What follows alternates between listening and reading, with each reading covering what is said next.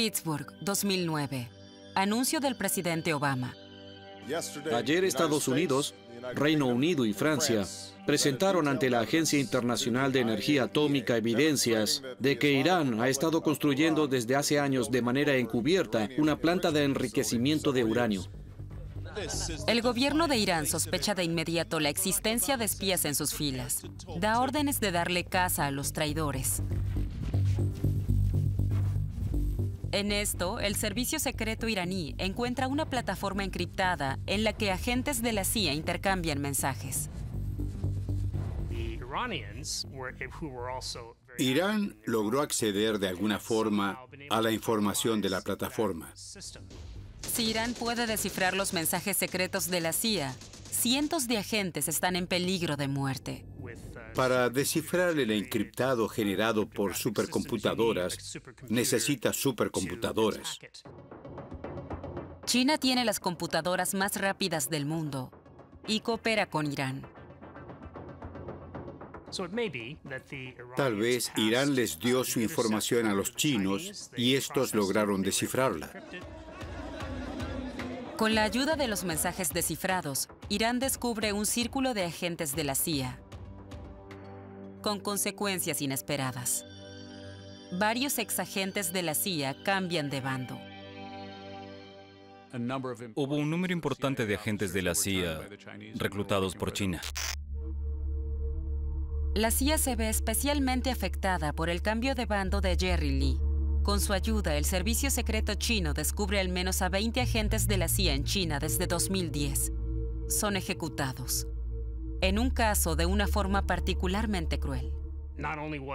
No solo se ejecutó al espía, sino también a su esposa embarazada. Y ante un circuito cerrado de cámaras para que el personal del ministerio donde él trabajaba presenciara el hecho.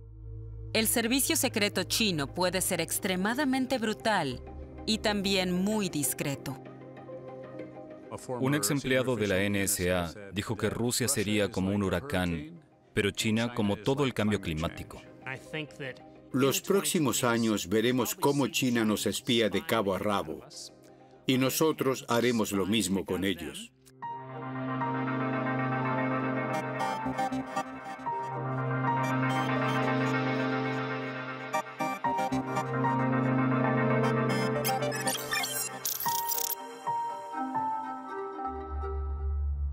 Parque Kleine Tiergarten, Berlín, mediados de 2019, un hombre de origen checheno lo atraviesa. Vive en Alemania con identidad falsa. Un ciclista surge de la nada. Saca una pistola con silenciador. La víctima Selimhan Yangoshvili recibe tres disparos. Había sido varios años comandante de una milicia antirrusa en el Cáucaso. La víctima tenía un historial muy intenso en las guerras de Chechenia. Después todo indica que fue reclutado por el servicio secreto georgiano. Bueno, reclutado no sería la palabra, pero cooperó con él y fue utilizado, por ejemplo, en negociaciones. Yangoshvili se une en 2001 a la resistencia armada chechena, de la que más adelante surgiría el islamista Emirato del Cáucaso. Después de que aparentemente se frustrara por poco un ataque contra él en Georgia, se fue a Ucrania, donde su contacto del servicio secreto georgiano continúa activo hoy. Es decir, Rusia debe haber visto a este hombre como un enemigo doble o triple, lo que probablemente lo llevó a una lista negra del servicio secreto ruso. En esa lista habría al parecer 20 personas. Rusia quiere venganza. En el caso Yangoshvili se sospecha de un ex soldado. En 2013 ya había matado a un hombre ante cámaras de vigilancia en Moscú. El sospechoso Vadim Krasikov también iba en bicicleta.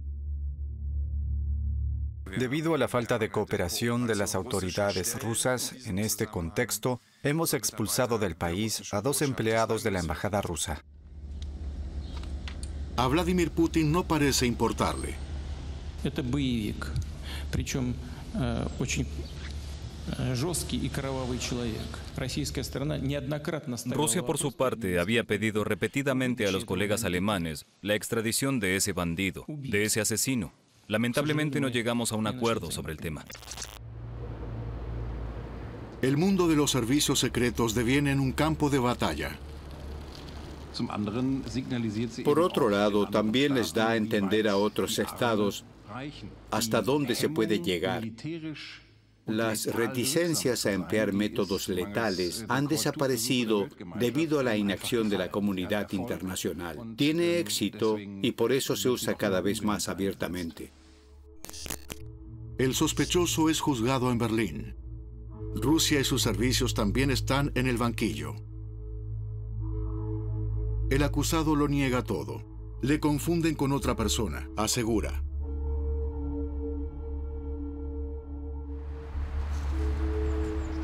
¿Es el asesinato del parque también un mensaje para Alemania? En la lógica de los servicios secretos, ese hecho no afecta a Alemania, sino que, al igual que otros estados, se reservan el derecho de perseguir en todo el mundo y, si es necesario, matar a cualquier persona que consideren terrorista un destino que acecha a desertores como Sergei Skripal, envenenado en Inglaterra. Estos casos espectaculares se producen por momento y oportunidad. Tenga presente que si el señor Skripal hubiese vivido en Berlín, habríamos tenido un segundo caso Tiergarten. En el caso de los servicios de inteligencia rusos, desde hace años castigan a los traidores donde quiera que se encuentren. No siempre fue así. Durante la Guerra Fría, espías como Rudolf Abel son intercambiados por presos estadounidenses, a menudo en Potsdam. Sin embargo, también había asesinatos.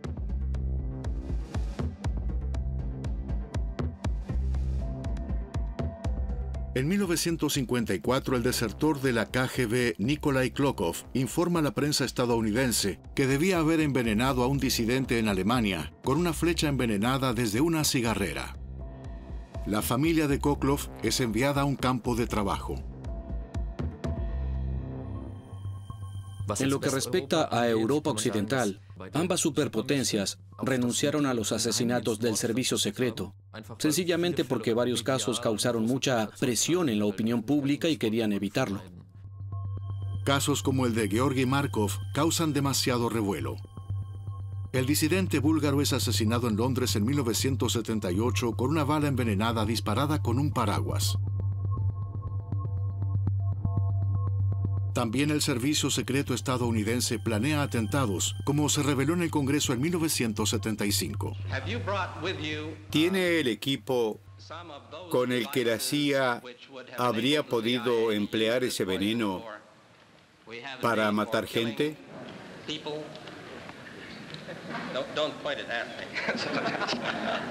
¿Esta pistola dispara la flecha? Sí, señor presidente, una pequeña flecha. En los Estados Unidos, los escándalos políticos, después de Watergate, llevaron a que el presidente prohibiera oficialmente los asesinatos de los servicios secretos. Este de Polonia, Masuria. A partir de 2002, aquí la CIA no tiene restricciones. Lejos de la capital, Varsovia, cerca de la frontera con Bielorrusia, no hay testigos. Ocultas en un bosque, instalaciones del Servicio Secreto Polaco. Aquí la CIA trajo a miembros de Al Qaeda y a otros sospechosos de terrorismo.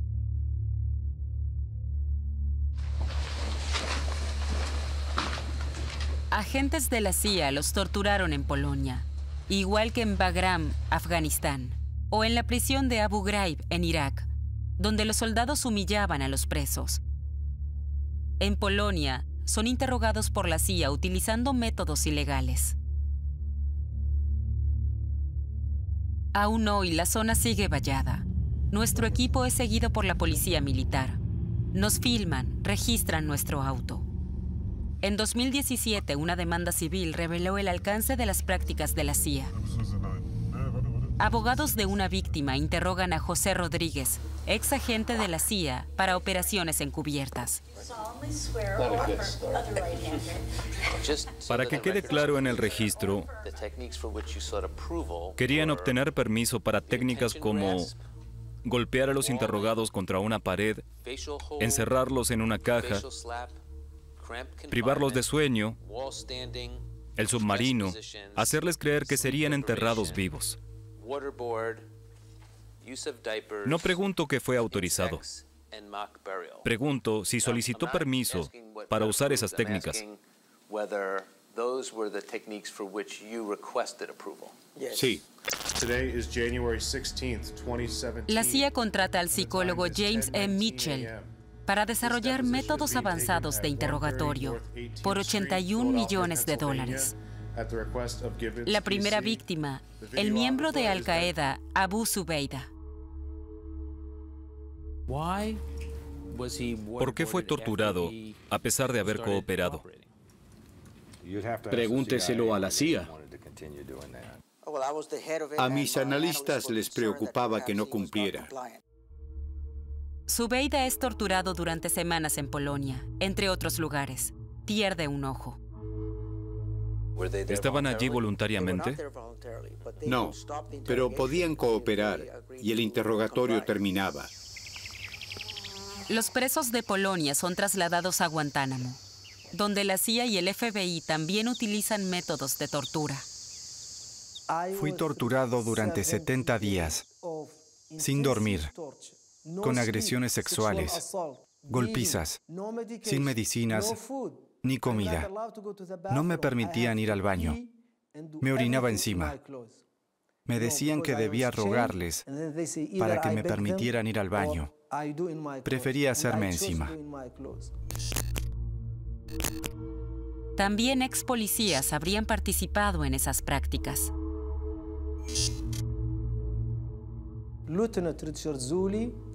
El teniente Richard Zully me dio una carta en la que decía que secuestrarían a mi madre y la enviarían a una prisión de hombres.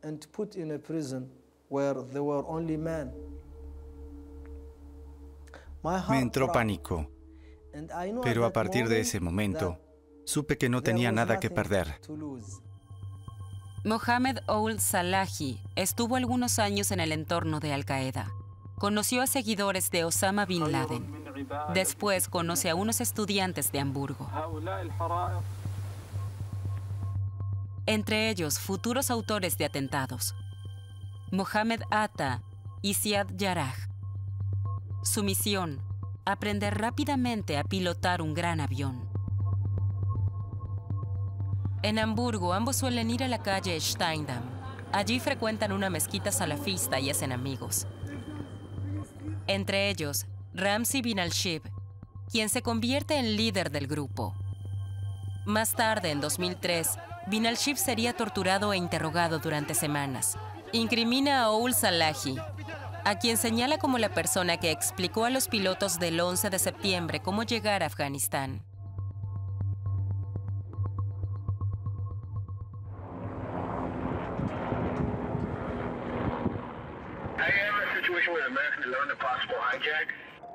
We have some problems over here right now. We might have a hijack over here, two of them. Is that American 11 trying to call? We have some planes. Just stay quiet and you'll be okay. We're turning to the airport. If you try to make any move, you'll danger yourself and the airplane. Another one just hit the building. Wow. Wow. Another one hit it hard. Another one just hit the west side. The whole building just uh, came apart. Holy smokes.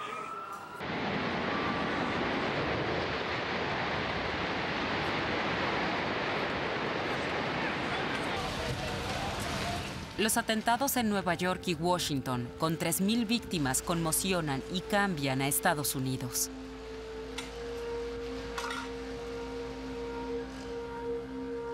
Su presidente George W. Bush lleva unos meses en el cargo. Quiere el apoyo mundial para lanzar una guerra contra el terrorismo. Hay apoyo mundial al pueblo estadounidense. Duelo. Es la primera guerra del siglo XXI.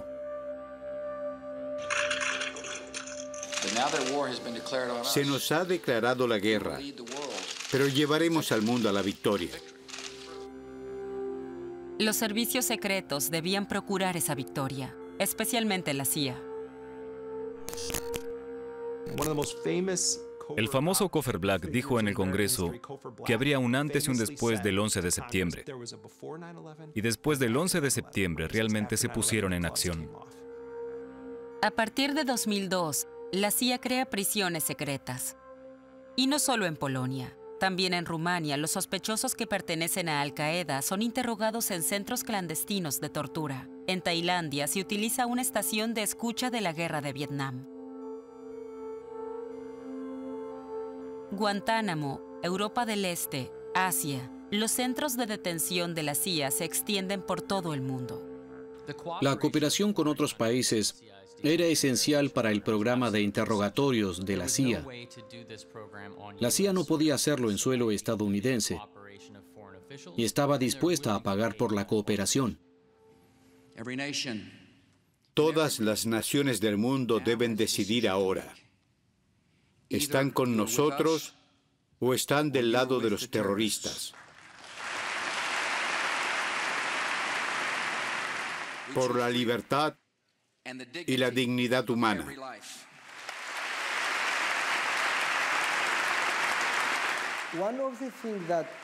Bush lo dijo. El 11 de septiembre fue atacado nuestro estilo de vida, nuestros valores. Irónicamente, lo primero que hacen es tirar por la borda esos principios, democracia, libertad. El verdadero ganador es el extremismo. Estados Unidos libra una guerra en Afganistán e Irak, aquí en busca de supuestas armas de destrucción masiva. Con ello se crean enemigos en todo el mundo musulmán. Milán 2003. Abu Omar fue secuestrado en la calle tras la oración del mediodía. En el operativo participan 23 agentes de la CIA, entre ellos la portuguesa Sabrina de Sousa. A la CIA no le preocupaba infringir la ley italiana. Israel, Tel Aviv, foco de conflictos desde hace décadas. A mediados de los 90 la paz parecía estar al alcance de la mano. Una posibilidad dinamitada por palestinos islamistas con atentados. La mayoría de las bombas fueron construidas por Yahya Ayash. En 1996, un confidente de la contrainteligencia interior, el Shin Bet, le pasa un teléfono celular lleno de Semtex. El explosivo destroza a Ayash. También el Mossad lleva a cabo atentados. Su jefe en aquel momento es Shabtai Shavit.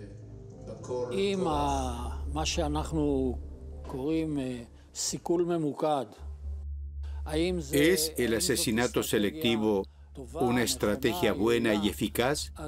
Sí. ¿Por qué? Si estoy buscando al líder de un grupo terrorista para eliminarlo y él sabe que lo hago, entonces pasará la mitad de su tiempo protegiéndose. Y esta mitad de tiempo no va a poder usarla para organizar un ataque terrorista. El despliegue que realiza el Mossad muestra las cámaras de vigilancia de un hotel de Dubái. En 2010, agentes del Mossad que se hacen pasar por turistas siguen a su objetivo. Mahmoud al-Mabgouh, un jefe de Hamas. Un agente del Mossad asfixia a este hombre en su habitación con una almohada.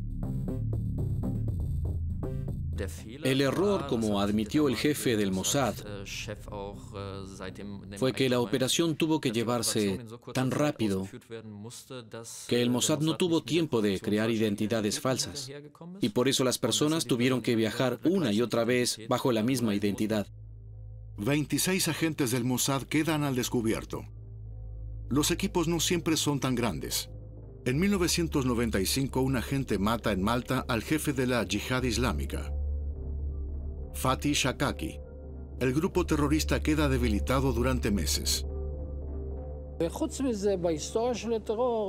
Se ha demostrado que el asesinato de líderes a veces produce la destrucción de toda su organización.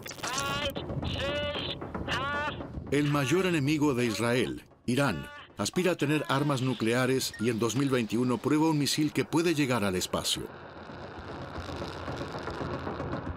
Misiles nucleares serían una amenaza mortal para el pequeño Israel. Cohetes convencionales ya caen en Israel, disparados por grupos palestinos.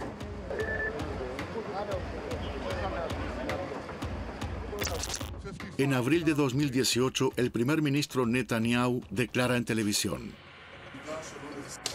Iran lied. Big time.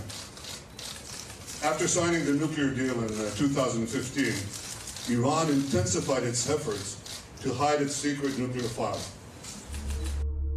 Israel no se limita a presentaciones de televisión. Agentes del Mossad matan a científicos nucleares iraníes por medio de disparos o explosivos. Los asesinados son celebrados en Irán como mártires.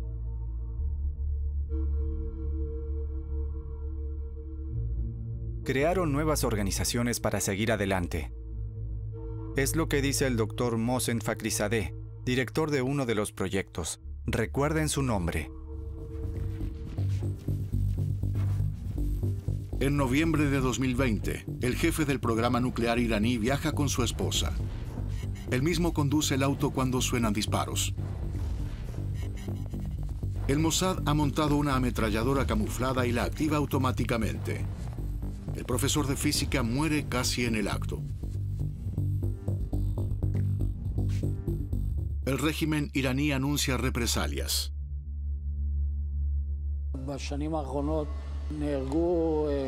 En los últimos años han sido asesinados iraníes en todo el mundo. ¿Ha desatado eso una guerra? No. Los servicios secretos cumplen órdenes. En las democracias, el gobierno es responsable de los servicios secretos. No pueden eludir la responsabilidad. Los Ángeles. Aquí trabajó durante muchos años el agente del FBI Michael Sherman, a veces como agente infiltrado en grupos terroristas de ultraderecha. Por mi trabajo como investigador, sé que el terrorismo es una táctica, y esa táctica es un signo de debilidad. Si un grupo lleva a cabo atentados, significa que es débil. En 1991, el caso de violencia policial de Rodney King estremece Los Ángeles. Estados Unidos está desgarrado. Es el momento en que Sherman se infiltra en círculos nazis.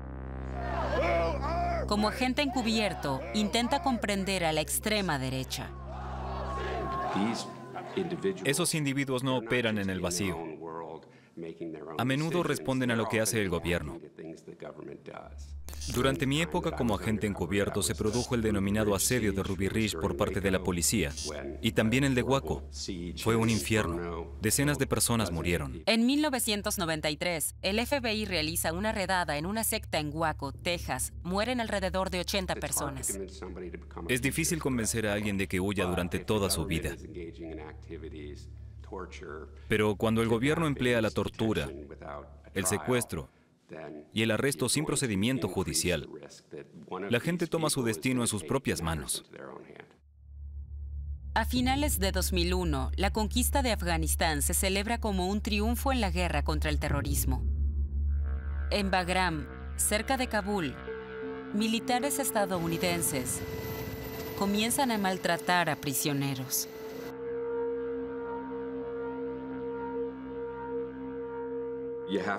Hay que tener presente que la información de inteligencia decía que Al Qaeda eran apenas unas 5.000 personas. Muy poco para legitimar más gastos gubernamentales para guerras en todo el mundo. Los estrategas de la guerra contra el terrorismo son hombres como Donald Rumsfeld, secretario de Defensa.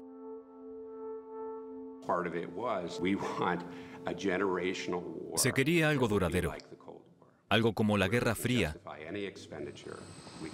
con la que se pudiera justificar los costes y el secreto absoluto, sin que se entrometiera el Congreso ni la opinión pública. No solo el ejército y la CIA están involucrados en operaciones inconfesables. También el FBI.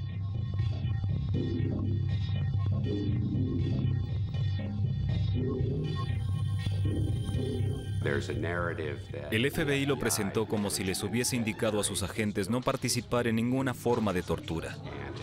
Y si durante el interrogatorio sucedía algo que les pareciera demasiado extremo, debían abandonar la habitación. Pero eso nunca fue verdad. El FBI se presenta amable contigo y te trae café.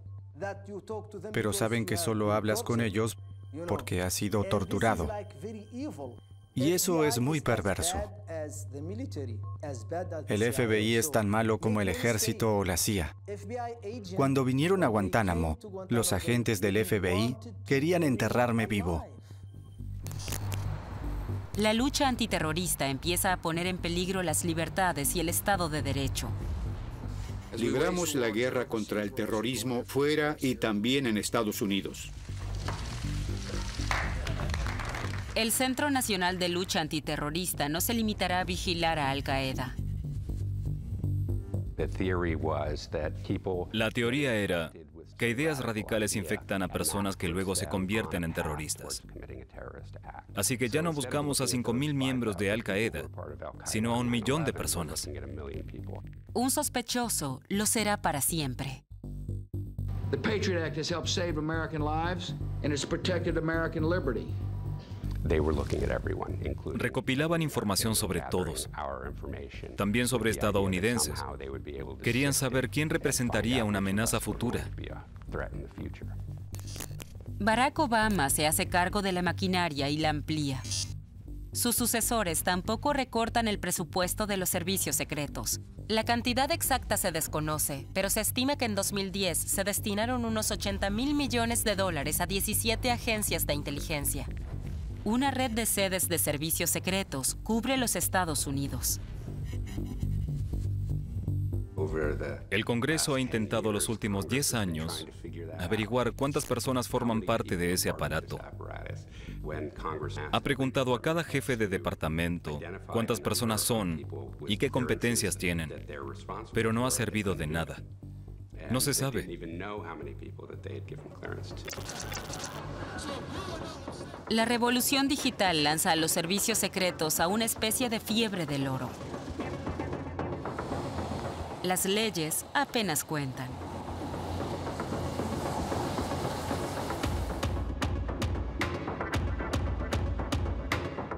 Recursos y herramientas diseñadas para proteger a la opinión pública se utilizan para atacarla. Leyes, tribunales y derechos civiles no sirvieron de nada. ¿Qué puedes hacer si las instituciones más poderosas del país ya no tienen que rendir cuentas? Los documentos de Edward Snowden de la NSA revelan el inmenso alcance de la vigilancia. También apuntan a la inteligencia exterior alemana, el BND. En 2014, un comité del Parlamento alemán sondea hasta dónde llega la cooperación.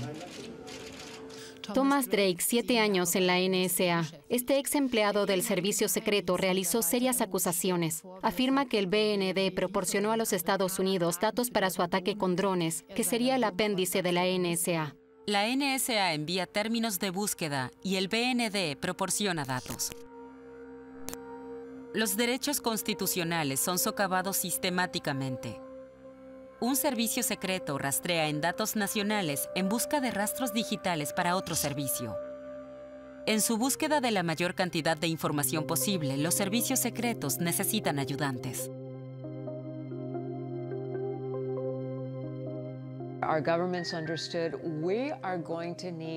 Nuestros gobiernos comprendieron que iban a necesitar gran cantidad de datos sobre lo que hace la gente. Así que dejaron que el mercado hiciera el trabajo por ellos y de ahí extraen los datos que necesitan. Las empresas continúan practicando este modelo cuestionable, en el que los consumidores piensan que se limitan a buscar algo en Google. Lo que hacen esas empresas es capturar todo nuestro comportamiento en línea para que otros establezcan predicciones. La dimensión de la vigilancia aumenta de año en año.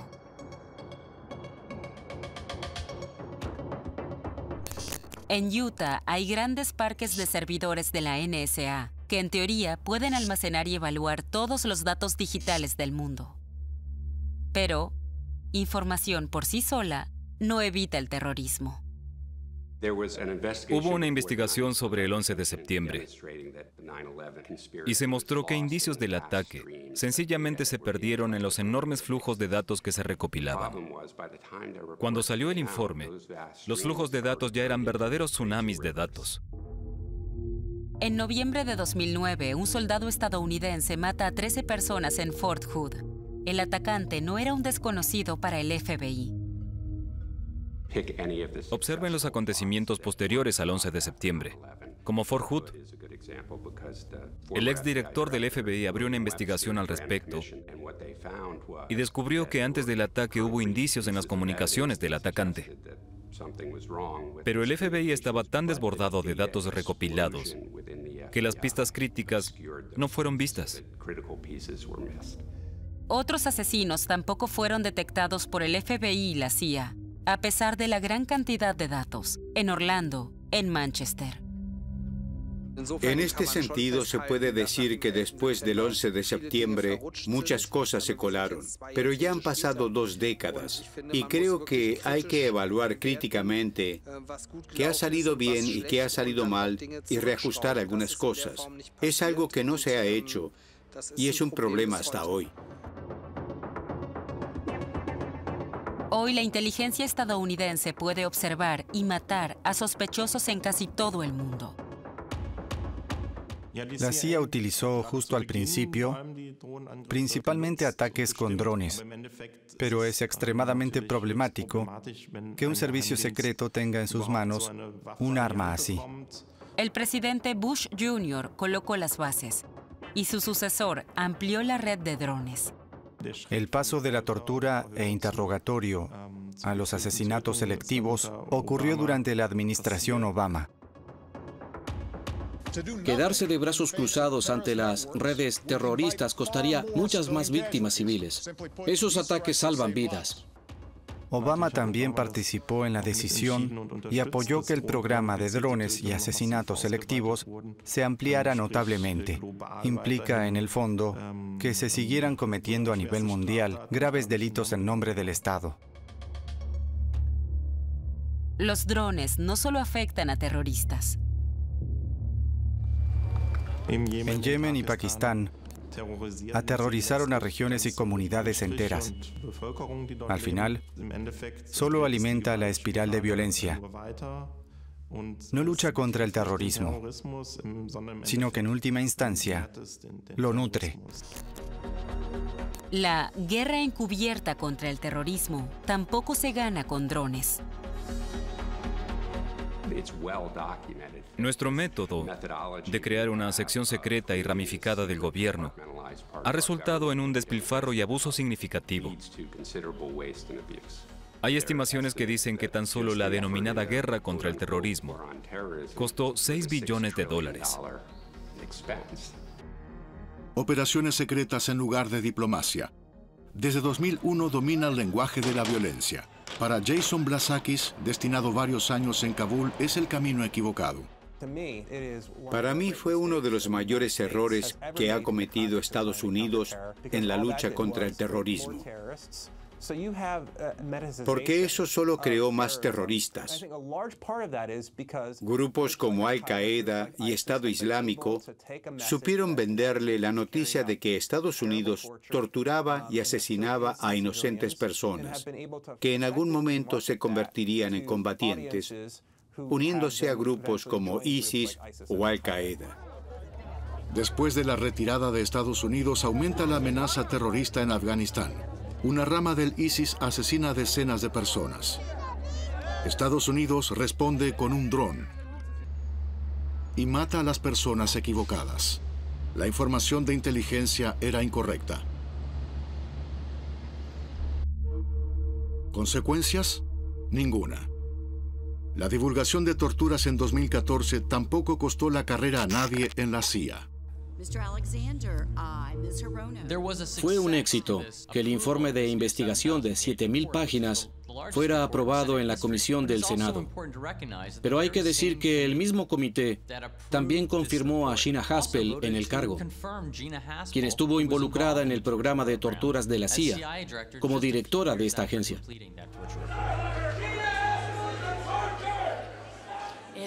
Antes de mí, ningún oficial de informes logró ascender y convertirse en director. Y por mi experiencia en los últimos meses, creo que sé por qué. Los responsables de la CIA no tienen por qué temer un castigo y manejan la verdad a su antojo. ¿Consultó con el presidente Trump o con miembros del gobierno sobre volver a emplear la tortura? No. Nunca empleamos la tortura. No sé de qué está hablando. En la CIA no se habla de tortura.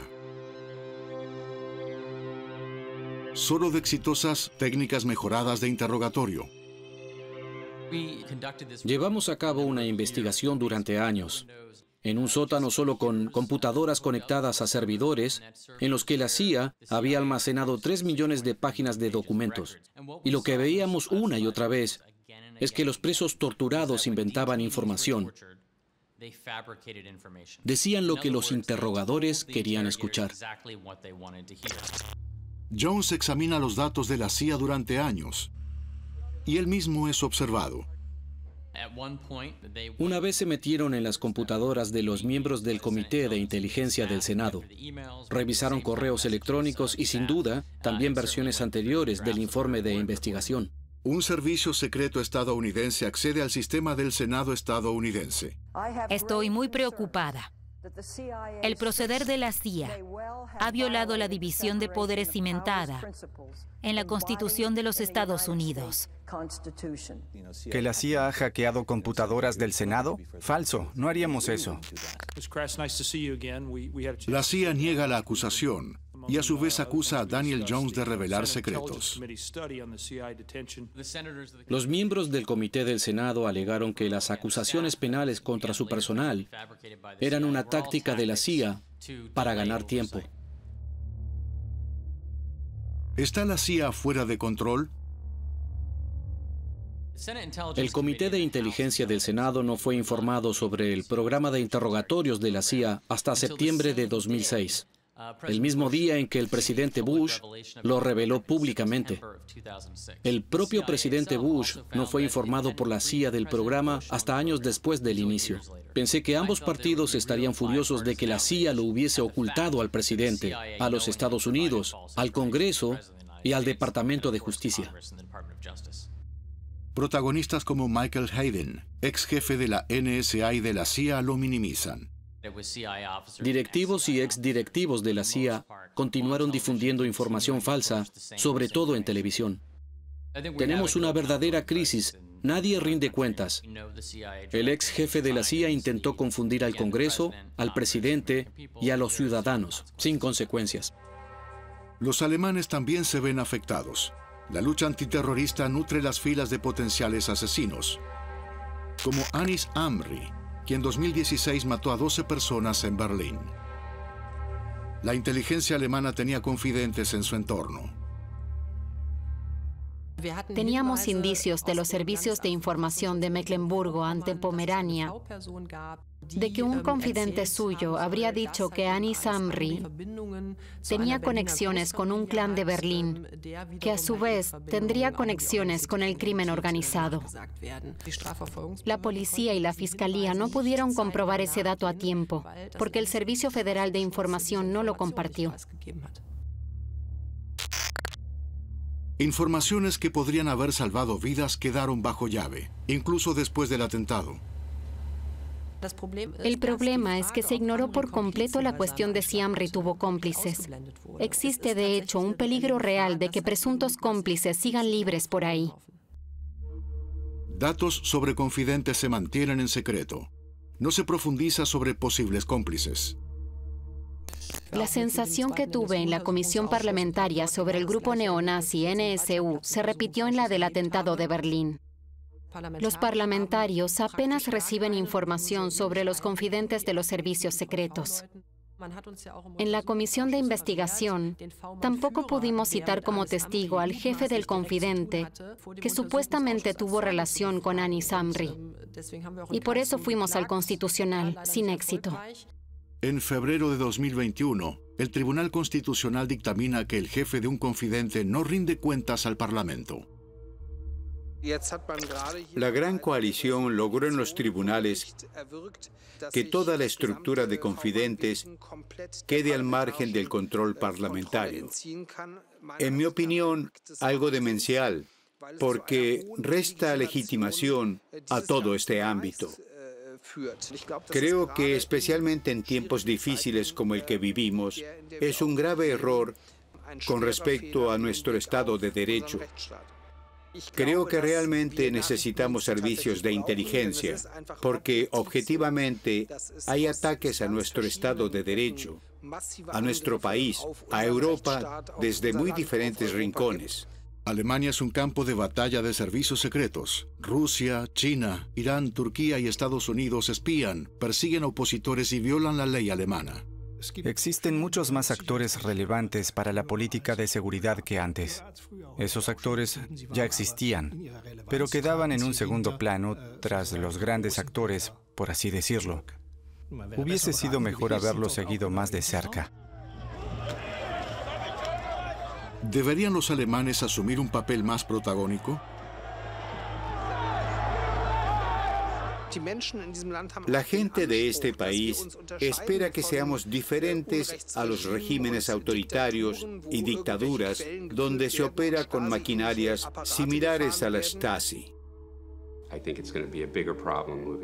Creo que cada vez es más difícil avanzar. Ahora que están ascendiendo naciones populistas como China e India, les hemos mostrado cómo pueden hacer lo que quieran por la fuerza. Los servicios secretos siguen ganando poder. Algunos desarrollan una peligrosa vida propia. Solo espectaculares casos aislados llegan a las noticias. El resto permanece oculto en las sombras.